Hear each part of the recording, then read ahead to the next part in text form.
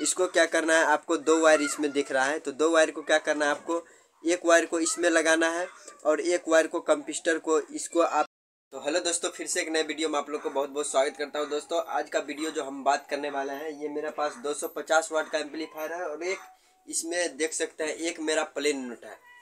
जो जिस भाई के पास, अगर जो हमारे न्यू ऑपरेटर भाई है, जो काम स्टार्ट किया है, जिसके पास, मान के चलिए एक 250 वाट का एम्पलीफायर है और एक ही यूनिट है तो उसको इस पे किस तरह चलाना है? तो आज मैं इस वीडियो में इसका जानकारी बताऊँगा कि इसको किस तरह से चलाना है, जो आपका यूनिट भी नहीं उड़ेगा और एम्पलीफायर भी सेफ़ और सुरक्षित चलेगा और बहुत बेहतरीन तरह से काम करेगा। तो आज अब ये वीडियो बहुत ही खास है तो आप लोग वीडियो में एंड तक बने रहिए। अभी तक हमारा चैनल आप लोग सब्सक्राइब नहीं किए तो प्लीज़ आप लोग सब्सक्राइब कर लीजिए। सब्सक्राइब करने से कुछ जाता नहीं है, और जो भाई हमारा देख रहे हैं, ये ज़रूर आप लोग सब्सक्राइब करके देखते होंगे। तो दोस्तों, जिन भाइयों ने सब्सक्राइब नहीं किया तो आप लोग प्लीज़ सब्सक्राइब कर लीजिए। हम इसी तरह का जानकारी बताते रहते हैं। तो दोस्तों, आज मैं चलिए एम्पलीफायर पे आप लोग को दिखाऊँगा और इसका सेटिंग बिल्कुल सिंपल तरह से कनेक्शन करके आप लोग को दिखाऊँगा कि किस तरह से बेहतरीन काम करेगा। एक यूनिट आप 250 वाट पर बेहतरीन तरह से चला सकते हैं। अगर आप लोग को इसमें कुछ छूट जाएगा तो आप लोग कमेंट बॉक्स में ज़रूर पूछ सकते हैं। तो चलिए, मैं वीडियो तो देख सकते हैं हम एम्पलीफायर के पिछले पैनल पे आ गए हैं। यहाँ पे देख सकते हैं मेरे पास ये आहूजा का 40 वाट का यूनिट है जो कि सिंपल में है। ये प्लेन यूनिट है, इसमें कोई ट्रांसफार्मर नहीं लगाना है और ये हमको यूनिट इस 250 वाट के एम्पलीफायर चलाना है। मान के चलिए हमको भाड़ा में कहीं पे भेजना है तो इसको किस तरह से कनेक्शन करना है? क्योंकि ये सोलो ओम्स का है, यहाँ पे सोलो ओम्स है ही नहीं। तो अब इसको क्या करना है? आप लोग को घबराना नहीं है।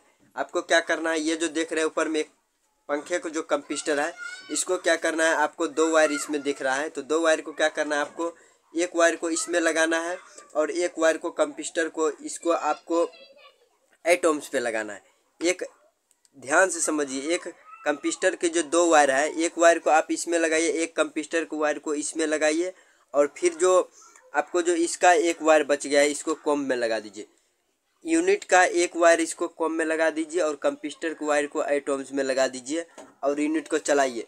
तो यूनिट को अगर आप लोग चलाइएगा सॉन्ग बजाइए या आप माइक में यूज़ कीजिए तो आगे से आप माइक अगर यूज़ कीजिएगा तो आप लोग आगे से यूज़ कीजिए। अगर नहीं सॉन्ग अगर बजाना चाहते हैं तो आपको लाइन इन में यूज़ करके बजाना है। क्योंकि आप ऑक्स वन और ऑक्स टू को में मत चलाइए, क्योंकि ऑक्स वन और अगर ऑक्स टू में चलाते हैं तो क्या होता है, आपको एम्पलीफायर का बेस्ट लेवल अगर काम करेगा तो क्या होगा, भाड़ा वगैरह में कई भाई को बजाने नहीं आता है तो ये क्या करेगा डायफ्राम को फिर काट देगा। तो आपको कहीं पे अगर भाड़ा वगैरह में भेजना है आपको तो 250 वाट के एम्पलीफायर पर अगर एक ये प्लेन नोट चलाना चाहते हैं तो आप ये कंपिस्टर लगा करके चला सकते हैं और आपको लाइन यून में यूज़ करके उसको देना है कि भाई आप इसमें यूज़ करके चलाओ।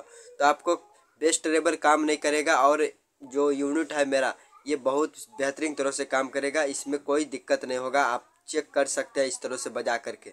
तो दोस्तों, ये मैं छोटा सा जानकारी आप लोग के सामने किया हूँ। अगर इसमें कुछ छूट गया होगा तो आप लोग कमेंट बॉक्स में ज़रूर पूछ सकते हैं। तो दोस्तों, मिलते हैं नेक्स्ट वीडियो में। तब तक के लिए जय हिंद दोस्तों, नमस्कार।